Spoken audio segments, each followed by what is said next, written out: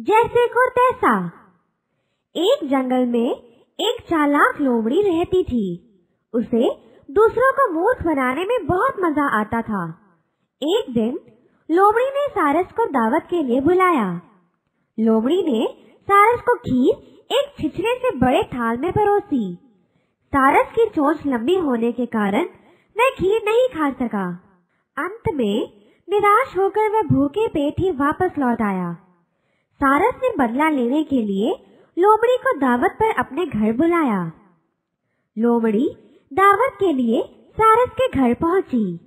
सारस ने टमाटर का सूप बनाया और इसे एक संकरे मुँह वाले बर्तन में परोसा।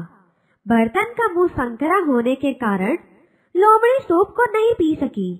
अब उसे अपनी गलती का एहसास हो गया। वह अपने किए पर बहुत पछताई।